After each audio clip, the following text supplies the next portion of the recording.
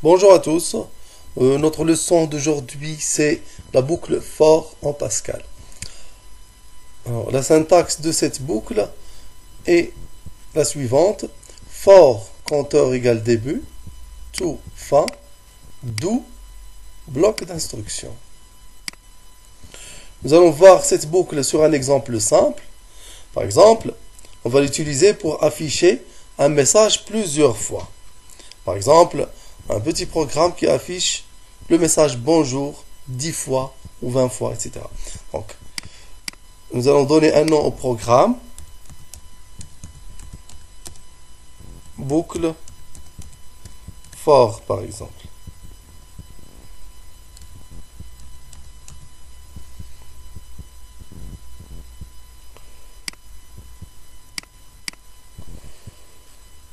Alors, je déclare premièrement les variables. Il y a la variable compteur. Je vais l'appeler par exemple i, de points integer. Ensuite, le début du programme begin et la fin du programme end. For compteur, le compteur ici c'est la variable i. For i égale 1 to 20 par exemple, do, va afficher le message, write ln. Alors, tout d'abord, je vais marquer le début d'instruction, begin, et la fin d'instruction, end. Je vais mettre ici le message bonjour.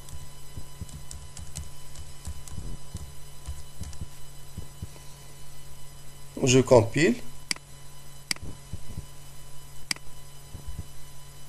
Pardon, j'ai oublié ici un point virgule.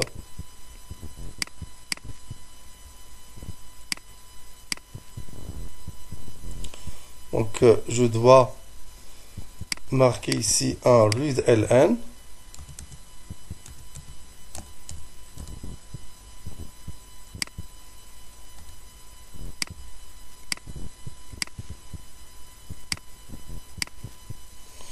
Voici le, le message bonjour affiché 20 fois.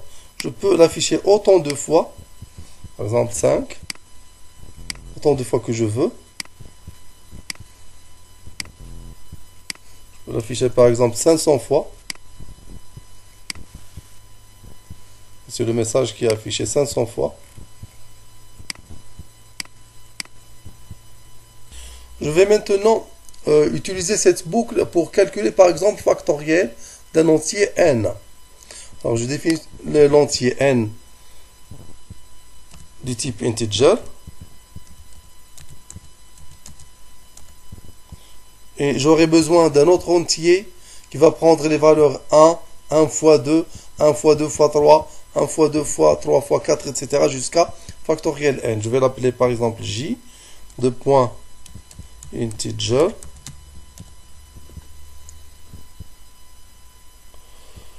Alors, le début de l'algorithme, je vais mettre, je vais initialiser la valeur de j.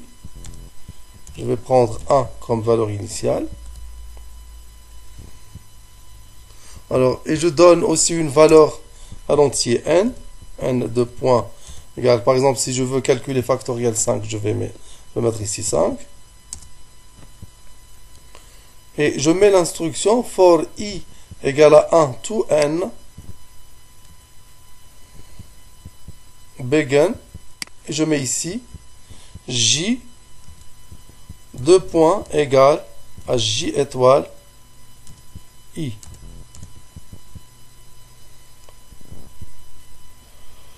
Alors maintenant, à la fin, J va prendre factoriel 1.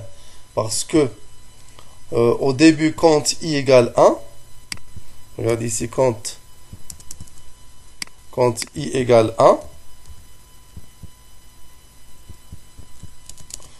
J va prendre la valeur 1 fois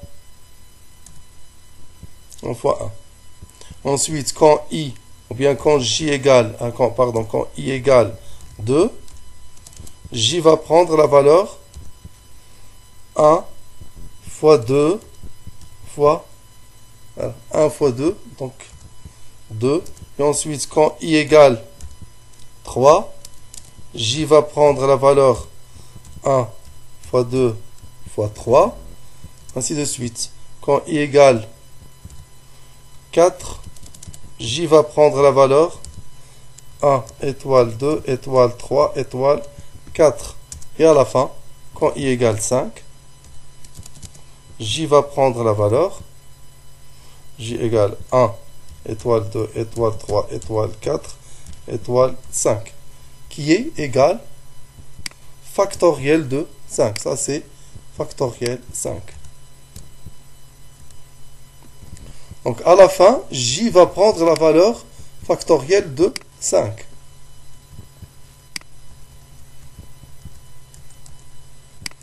Je vais afficher à la fin, je sors de la boucle begin and et j'affiche le résultat, write ln factoriel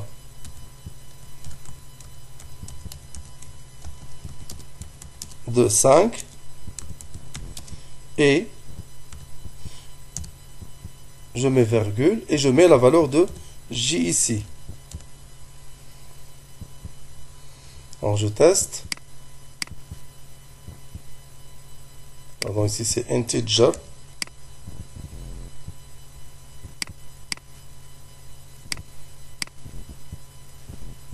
Il me demande, ah, il m'écrit ici factoriel de 5 et 120. Alors, je peux donner la possibilité à l'utilisateur de saisir lui-même la valeur de n et de taper et de lui, afficher la valeur de factoriel n. Alors, je vais mettre ici à la place de n égale 5, je vais mettre taper la valeur de n.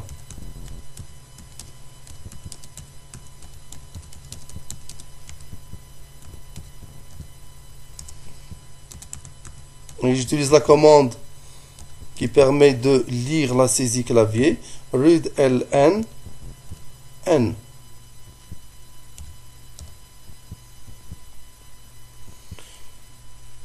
Je vais mettre ici factoriel de n et j.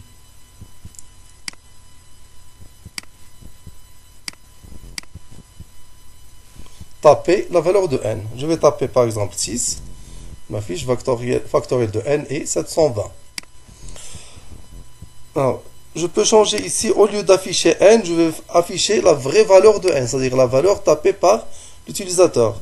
Je ferme les cotes ici, et je fais virgule, ensuite ici, virgule, et je mets les cotes ici.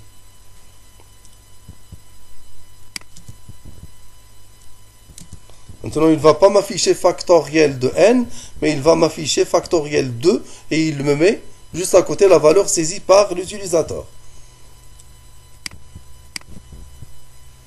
Taper la valeur de n. Je vais taper par exemple 7.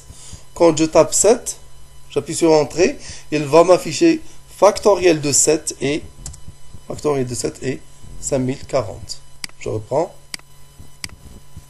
Je tape une autre valeur. 4 il va m'afficher factoriel de 4 et factoriel de 4 et 24. Voilà, c'est terminé. Merci au prochain tuto.